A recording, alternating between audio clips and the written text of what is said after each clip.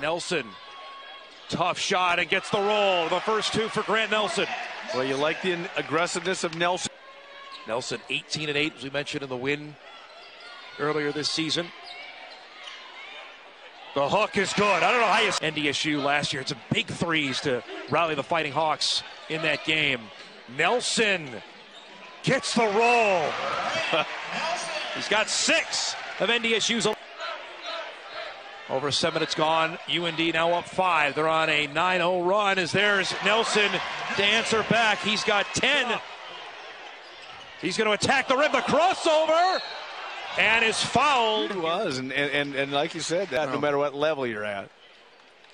He's a teammate for, as you mentioned, the seventh made three of the game. That's an 8-0 run for UND as Nelson answered.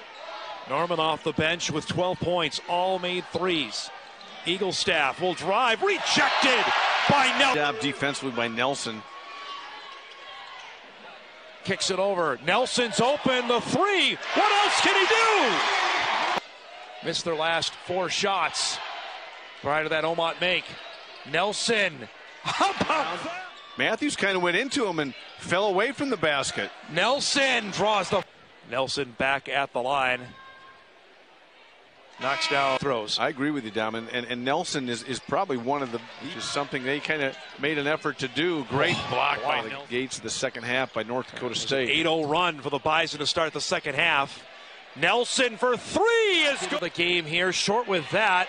He gave UND some nice minutes in the first half. Yeah, 10 first half points for Levi. Nelson! It's got to happen on this end of the floor if you're North Dakota. You can't allow this young man just to continue to tear you apart.